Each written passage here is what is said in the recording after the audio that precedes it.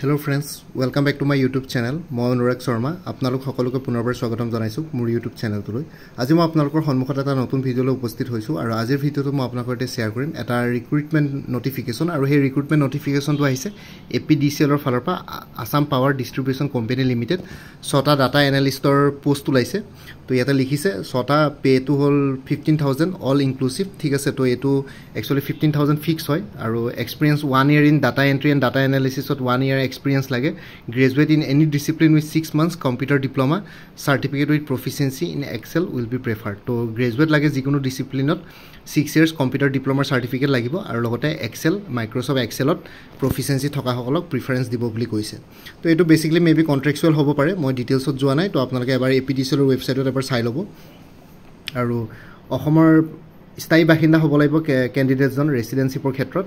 আৰু ৰেচিডেঞ্চিপৰ প্ৰুফ হিচাপে তেওঁ N N R C P R C বা domicile certificate voter I D PAN card driving licence passport Aadhaar কাৰ্ডসমূহ তেওঁলোকে দেখাব পাৰে মানে ছাবমিট কৰিব পাৰে এপ্লিকেশ্যন কৰোঁতে।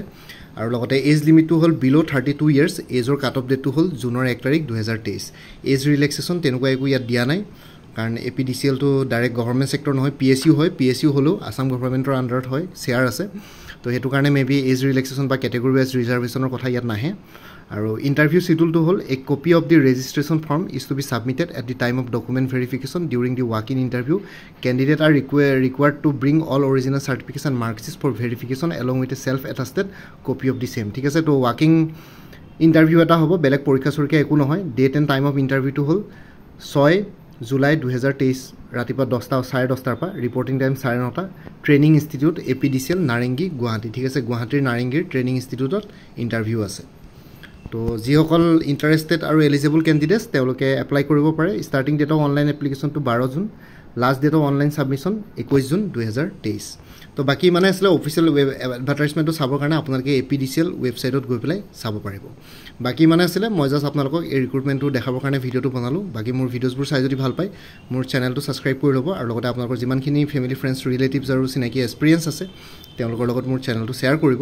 লগতে কমেণ্ট ছেকশ্যনত জনাব কিবা যদি কুৱেশ্যন থাকে ডাউট থাকে মই নিশ্চয় আপোনালোকৰ কুৱেশ্যনছ আৰু ডাউটছবিলাকৰ ৰিপ্লাই দিবলৈ চেষ্টা কৰিম। বাকী আজিৰ ভিডিঅ'টো ইমানতে সমাপ্ত কৰি আপোনালোক সকলোৰ পৰা বিদায় ল'লোঁ। কাইলৈ পুনৰ এটা নতুন ভিডিঅ'লৈ আপোনালোকৰ সন্মুখত উপস্থিত হ'ম। তেতিয়ালৈকে ভালকৈ প্ৰিপেৰেশ্যন কৰি থাকক। সকলোলৈ অল দি বেষ্ট থাকিলে। Bye and take care friends Bharat Mata কি জয়। জয়াই অসম।